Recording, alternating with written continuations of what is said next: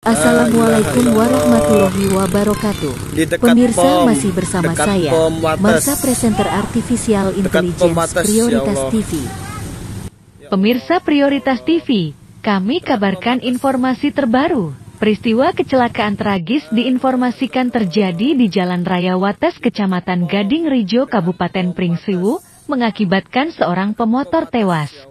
Selasa 21 November 2023, siang, Lakalantas Bang, terlindah Fuso dekat pom bensin Tambah Rijo, tulis informasi warga Gading Rijo dalam keterangan video yang diterima media Prioritas Network. Ia menyebut, Fuso tersebut sempat kabur dari lokasi dan akhirnya berhasil terkejar saat di depan Tugu Gajah, Pekon Bulokarto, Kecamatan Gading Rejo, Ringseu. Informasi lainnya yang diterima, korban tergilas truk Fuso bernama Sulis merupakan warga Pekon Tambah Rejo, Kecamatan Gading Rejo, Ringseu.